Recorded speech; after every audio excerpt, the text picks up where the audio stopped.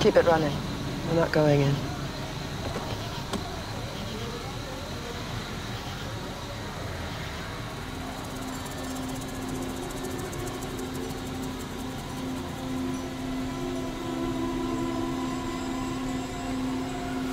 You want to give me your orders, please? We gave our orders to that other girl twice. Sorry, she sucks. And what's with that fool bartender? Where's our beers?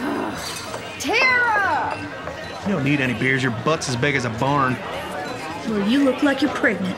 Nice of you to show up for work tonight. Said I was sorry. I would have got fired. Lucky you slept with the boss.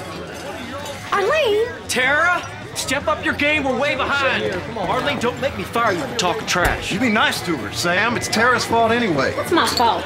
Sleeping where you eat. Jesus Christ, Terry, what'd I ever do to you? You leave him alone and give me my beer. You know what? Here they are.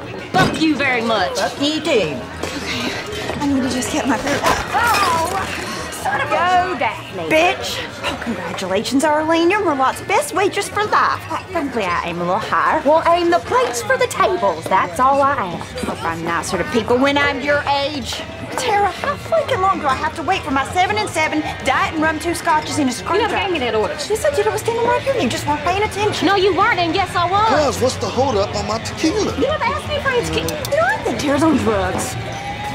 Tara, are you high? Okay, I wish I was where everybody's dogging me. Tara? Tara! Tara. Tara! Tara. Fuck all of y'all.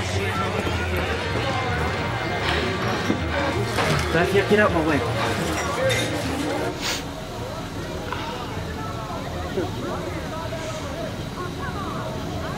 We're done.